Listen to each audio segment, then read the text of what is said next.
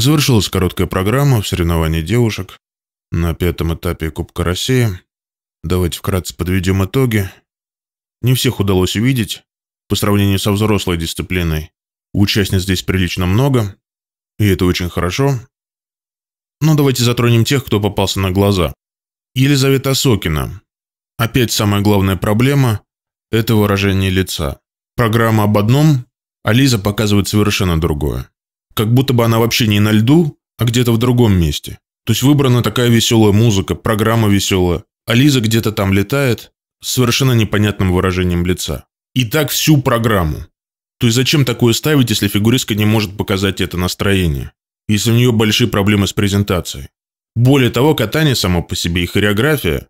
С одной стороны, это все быстро, в хорошем темпе, и это здорово. Но с другой стороны, нужно еще уметь это показывать. А когда ты просто быстро машешь руками, изображая мельницу, в этом ничего хорошего нету. И вот все ее катание такое суетное, неряшливое, как будто бы она куда-то торопится. Нету никакой эстетики в движениях. Ну вы хоть соотносите, что фигуристка может откатать и показать, с тем, что вы ставите. А в целом, что касается прыжков, и именно скорости в катании, с этим все хорошо. Алина Горбачева. Совершенно замечательное платье. Также нужно работать над презентацией. У девочки всегда такой испуганный взгляд на протяжении всех программ. Неважно, что катает грусть или радость.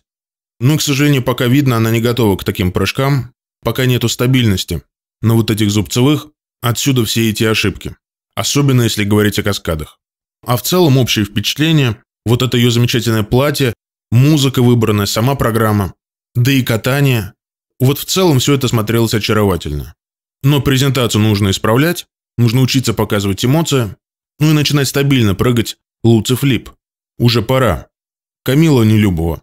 Я с удивлением обнаружил, что она теперь также тренируется у Сонечки Федченко, а была же у Урманова недавно.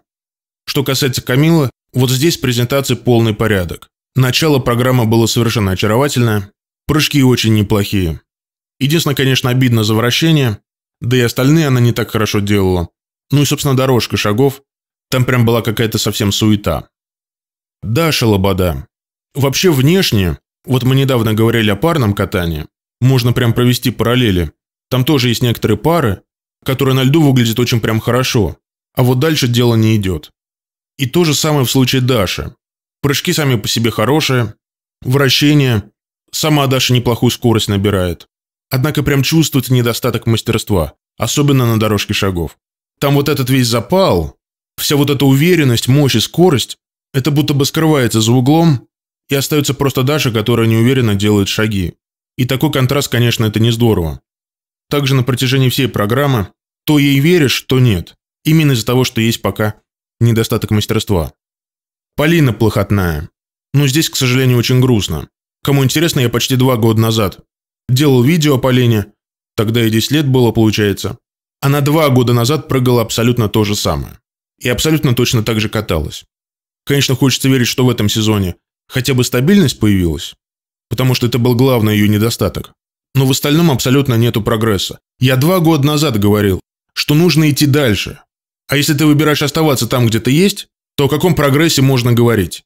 В итоге, что два года назад прыгала тулуп-тулуп, что сейчас? Прыжки у нее до сих пор такие же высокие, классные. Сама по себе девочка безумно очаровательная, музыкальная, артистичная. Но уже два года назад нужно было идти дальше. А сейчас, как мы видим, это время просто-напросто ушло впустую. За два года она просто подросла еще, а в остальном все тоже никакого прогресса. Но обидно за вот этот потенциал. Такое очарование и стоит на месте. Что тут говорить, если нету амбиций? Вероника Жилина. На самом деле я себя почувствовал уже в двухсоттысячный раз ясновидящим, потому что перед началом программы, когда я думал о том, как Вероника Жилина откатает, у меня перед глазами виднелась цифра 77. Ну вот что это такое? Просто бред, я уже сам себя пугаю. Ну вообще, конечно, удивило. Я не знал, что у нее тройной аксель есть. Я видел попытку тройного акселя ее сестры, который был пониженный. Алены. А то, что Вероника Желена еще прыгает тройной аксель, вот это одновременно удивительно и здорово. И главное, все было достаточно уверенно. Однако, что касается всего остального, ну взять ту же Сашу Трусову, когда она была в этом возрасте, но она настолько детских ошибок не совершала. А тут Вероника то там споткнулась, то здесь, И за это ей дают почти 32 по компонентам. Пускай не жалко, но все равно разница в уровне катания должна подчеркиваться. Что в мужской дисциплине был один Петя Гуменик, а остальным непонятно с чего нарисовали такие компоненты. Ну куда это годится? Поэтому в целом единственное, чем Вероника порадовала, это вот своим каскадом.